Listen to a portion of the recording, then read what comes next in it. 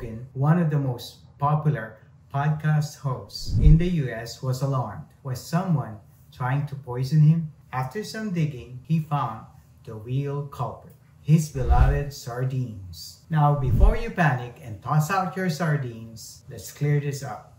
Yes, sardines can contain arsenic. It's a specific type called organic arsenic, sometimes called fish arsenic. It's very different from the toxic inorganic arsenic found in polluted waters or industrial runoffs. Organic arsenic in normal food amounts usually doesn't pose a health risk. So, should Joe Rogan's experience scare you away from sardines completely? Absolutely not. My advice as a doctor is always balance and variety.